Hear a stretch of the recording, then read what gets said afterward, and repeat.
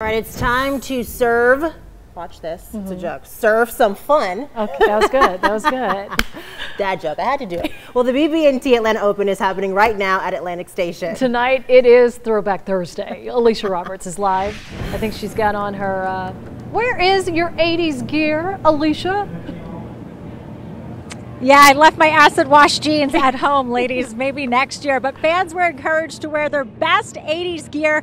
It's all part of the fun happening here for the BB&T Atlanta Open. I want to show you behind me here tennis courts. We've got some tennis matches happening, but really, this year's venue is double the size of what it was last year. So there's fun for fans of all ages here, including behind me, lots of fans on tap tonight. Check it out. A real-life obstacle course here, and we've got two ninja competitors that are going at it, along with Ryan Stratis. Oh, Hello, we got going? the fans cheering. Ryan, you're a hometown ninja competitor here. Yes. it for us. What do you These guys, they're already on the TikTok here. They're swinging through. Oh my gosh, Ian flying in for the hot tag.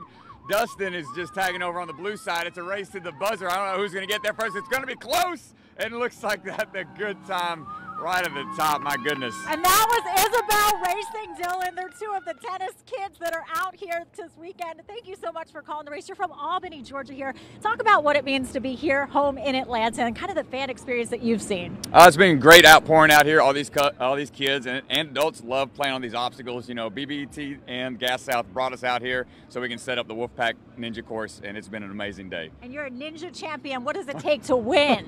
Not quite a champion yet, but you got a lot of work. You got to put in hard work, dedication, determination, no quit attitude. And that's kind of the message here is a no quit attitude for tennis. You know, the BB&T Open is designed to really get fans of all ages engaged in the sport, to make it fun, to make it interactive. You guys having fun this week? They all play tennis. They're all excited. Lots more tennis action happening all throughout the weekend here at Atlantic Station. So we'll send it back to the studio. We'll see you guys back here in a few more minutes.